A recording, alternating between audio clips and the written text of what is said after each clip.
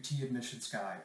Following up on a recent video I released about UT Austin's new short answer questions for uh, freshman fall 2022 applicants. So they released these prompts a lot later than they said that they would, but as I talk about in my blog post that you can find in the information section of this video, along with some examples that may help for this essay topic, uh, I share that UT Austin, they just are not very good at communicating with the public. They have a very haphazard approach to making changes to their admissions process, bringing consistency and continuity between admission cycles is definitely not a strength of theirs. So for whatever reason, their senior bureaucrats or marketing offices, enrollment managers decided to change the topics. Uh, that's a, black box that we will never be able to access. So the major short answer question is the same. There's a new kind of hybrid question about leadership diversity. And then the topic of this video is the new, what I'm calling the change the world topic. And so this video is two parts. The first part, I'll share some initial thoughts, criticisms, concerns, uh, complications with this new topic. It really is just, um, man, maybe one of the worst essay topics I've ever seen from any university. Certainly the worst essay topic I've seen since my 10 years uh, in and around uh, observing UT admissions. So that's what it is. And uh, y'all have to be the recipients of whatever the senior bureaucrats decided was just a wonderful idea for you to write about. The topic is the core purpose of the University of Texas at Austin is to, quote, transform lives for the benefit of society. The prompt asks, please share how you believe your experiences at UT Austin will prepare you to, quote, change the world after you graduate. And of course, for anyone that's been to a UT football game, knows that UT's mantra, which they branded uh, and copyrighted back in 2005, is what starts here changes the world. So they're essentially asking you to reflect on and evaluate this statement. Um, there's a lot of problems with this question. Uh, namely, it's very vague. And as I'll talk about with the specific tips I provide, it's super unclear exactly what they're asking for right? Like the previous short answer questions from the last two cycles was discuss your majors, which remains the same. Talk about a leadership experience. Okay, like I know what to do for that. Like you talk about a leadership experience in your family, community, school, etc. There's this third topic about uh, an identity, interest, or perspective that will kind of bring perspectives to classroom discussions or enrich uh, UT Austin's learning environment. And so you have an idea of like what they're actually asking for. And so I think that one of the factors of this question is it's very vague, it's very um, convoluted. Uh, there's also a couple kind of critical interpretations I'll take of it. One of them is a, uh, a really bitter and delightful irony that I, I'm like 100% certain that it's 17 or 18 years old. The, you know, senior admissions officials at UT Austin, like, never dreamed to become admissions counselors, like making up essay topics. And so, like, I know for me, like at age 18, and I've actually I've never ever read an essay or ever in the thousands of students I've ever talked to ever met a high school senior or junior who's like, oh, like when I grow up, I really want to be an admissions counselor and like work in higher education. Like that never happens. You have this like bizarre situation where people that like may or may not be transforming the lives of others by making you guys write about how you think you're going to change the world when in their own lived realities they're making up super silly essay topics for tens of thousands of students to write. And so, like for myself at age 18, I, I never imagined I might be changing the world and being like a, a YouTube personality or a blogger uh, by criticizing stupid essay questions that universities require you to write. Uh, but you know, this is where we are, and we'll just simply never know who made up these essay topics. Um, and yeah, so you're just gonna have to navigate this the best that you can. I also have um, some pretty significant concerns about what this topic means for inclusion, for access, for diversity recruitment, because as I argue in my new book, Surviving the College Admissions Madness, the more requirements, particularly essays that universities uh, put as hoops for students to jump through, it uh, is a direct consequence of diminishing their uh, inclusion and making their campus as accessible as possible. So whenever universities require lots of topics or silly topics, it has uh, you know some complicating factors for their supposed mission of wanting to, you know, recruit the top students from across all Texas high schools, regardless of their socioeconomic class or, uh, you know, other biographical information. So I think there's a lot of problems with um, diversity recruitment.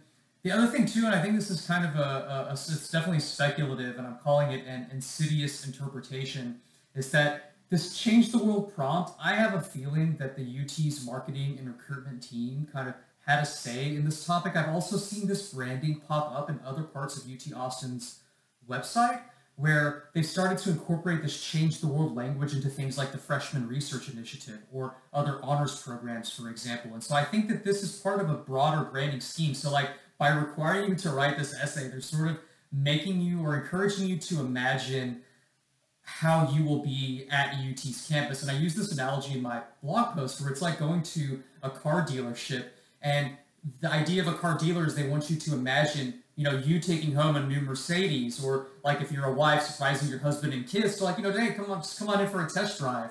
And this new prompt is sort of like the equivalent of encouraging you or basically requiring you to take a test drive and imagine and visualize yourself at UT Austin's campus. And a theory I have is that this is going to sort of soften you up for the aggressive recruitment and marketing techniques that UT Austin and universities everywhere are starting to deploy. So you have um, big data gather, uh, big data algorithm and, and, gathering techniques that are helping to um, produce you know highly targeted marketing funnels and recruit uh, you know highly specific types of students. And so I think there is this kind of subtle seed that they're planting because after all, like who wouldn't want to like change the world and like leave a legacy on this planet or in humanity you know, after uh, you know, you know, decades or many years into the future, whenever you leave, you know, whenever you pass away, right? So um, I think that there are some just very bizarre uh, aspects of this essay topic that I'm still going to unpack. I also think that the average essay is going to be very poorly written because the topic is broad, it's vague,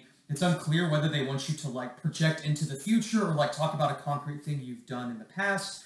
And so um, yeah, that's problematic. The other issue that there's another assumption baked into this question. There's a real, and I'm not even someone that talks about privilege. I mean, you don't really hear me use that kind of language in my videos or in my books, but there is a, a real assumption of privilege here that like UT Austin had 67,000 applications. They admitted 17 or 18,000 students last year. There's a, sm- a subset of those students, maybe 20%, that receive need-based financial aid. But unless you come from a really wealthy family, it's it's a reality that most of you are going to be taking on thirty or forty thousand dollars of student loan debt, and so it sort of smacks of privilege when we live in a society where millennials and Generation Z are the first cohorts that are less likely to, to die wealthier than their parents, and then asking students to write about how they're going to change the world when honestly, like most recent graduates in a pandemic, are just trying to stay afloat, maintain their you know physical well-being, their their sanity, and so a lot of students are just trying to find a living wage in their industry, like let alone their dream job or their dream life. Um, so it just seems to me as like just astonishingly tone deaf uh, for an admissions office that, despite their flaws, like is is quite diverse. Like I don't dispute that there is a wide variety of perspectives within UT Austin's Office of Admissions, but it just happens when you work in a bureaucracy, you just lose touch with the lived realities of the sorts of students that are going to have to be writing these essays. And so uh, one of my hopes is I really hope a student writes an essay that just reads, I can change the world if you don't saddle me with a lifetime of crippling student loan debt. Can I have a full ride, please?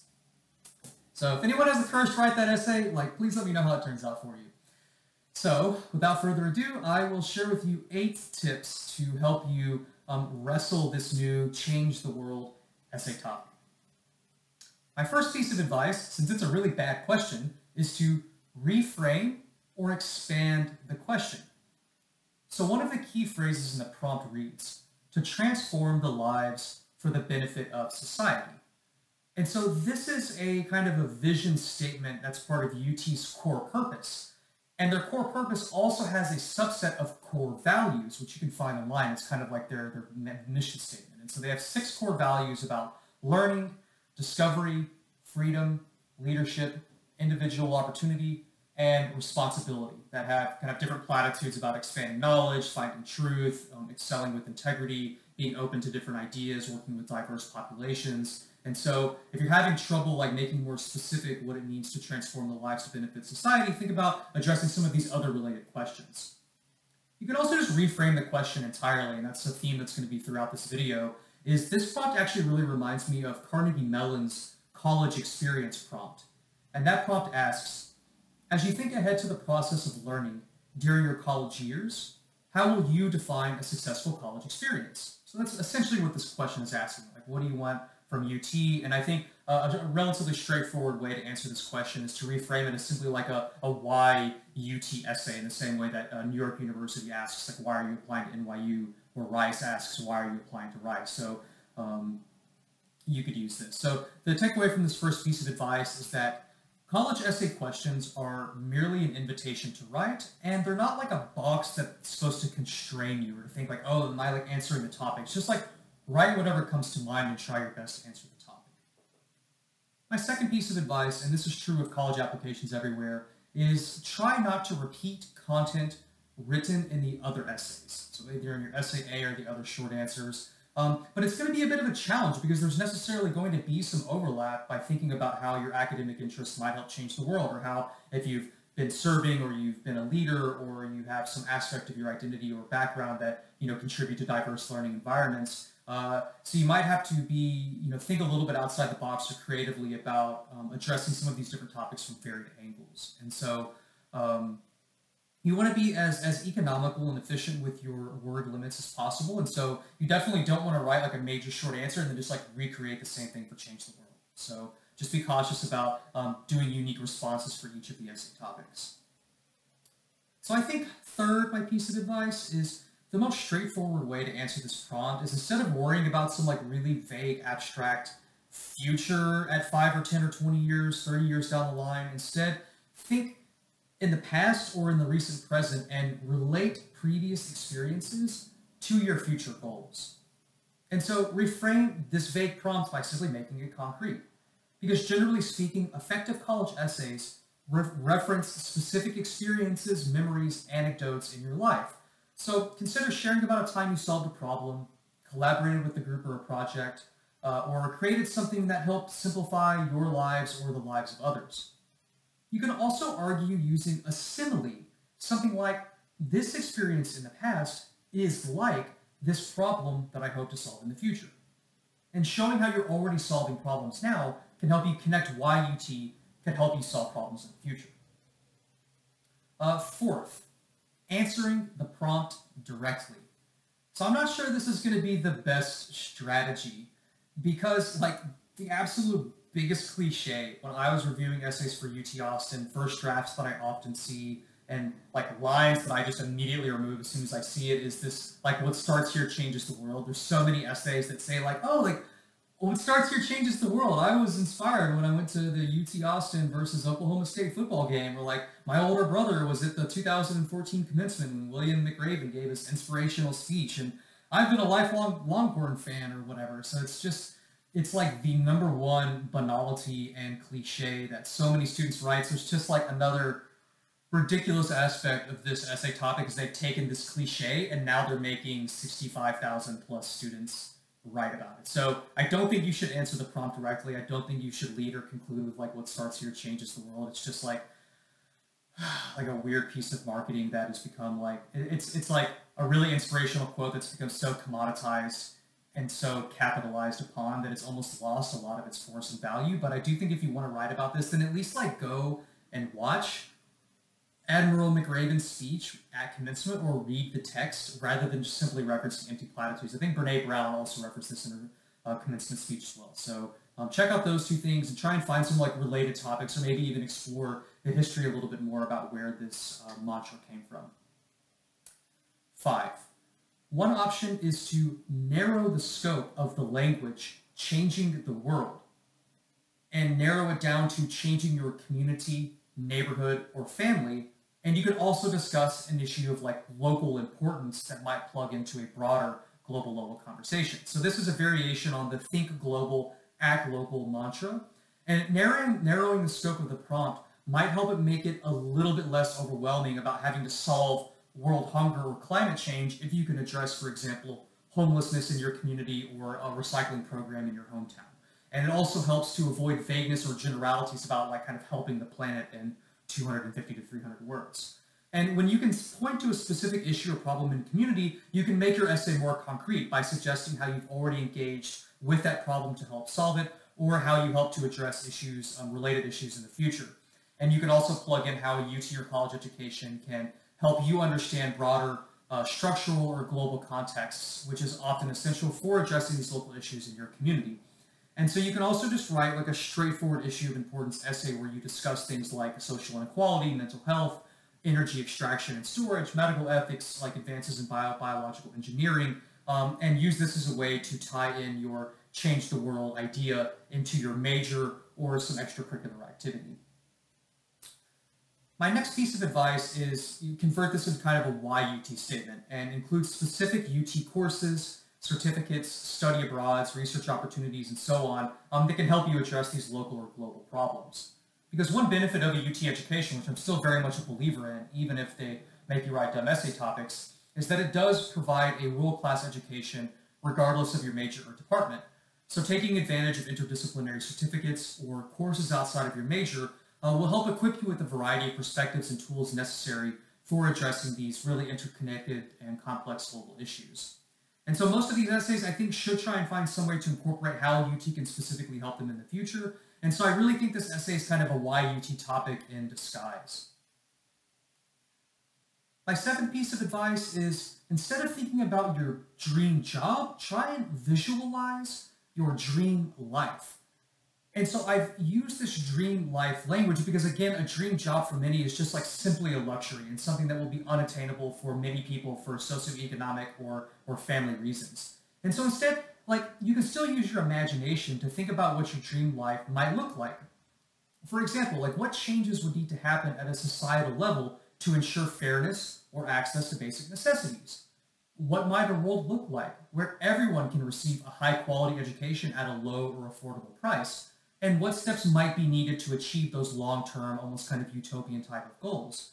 And so imagining your dream life can help situate your place in solving these, um, these problems. And this may or may not be a dream job or a job at all, but you can also frame it as kind of like your calling, uh, which also opens up the possibility of like nonprofit service, helping change the world through art and music, or even becoming a social entrepreneur. And so in a way, this essay topic kind of reminds me of the old ApplyTexas SAC that no university requires anymore um, that asks students, you have a ticket in your hand, where will you go? So my final tip for this uh, essay topic is if like you're just just have no idea what to write and if all else fails and you're feeling totally stumped, honestly like just write a second essay about your major, leadership, or diversity uh, and how you can bring a unique perspective to campus. Um, I think a lot of students again are going to worry about how to like answer the prompt, but um, again, these essay questions are simply an invitation to write. So you can use this essay topic as kind of a catch-all miscellaneous thing to write about whatever it is you want to write about. Um, and again, if you're struggling with this prompt, just remind yourself it's not your fault that you have to write this essay. Um, but hey, hey, look, if you're feeling really courageous, maybe write about how you hope to change the world by speaking truth to power for unresponsive bureaucracies who make you submit to their whims um, and their inconsistent policies, because this won't be the first time that an organization, an institution, or corporation is telling you to do something that you don't really have a say in the matter. And that's a, a really big theme of my new book, Surviving the College Admissions Madness, um, which you can pick up on Amazon. Um, you can also reach out to me at kevin at texadmissions.com um, with any questions. So I hope that you found this video um, insightful and productive. Um, I wish you the best of luck with your college applications, and I hope that you have a great day.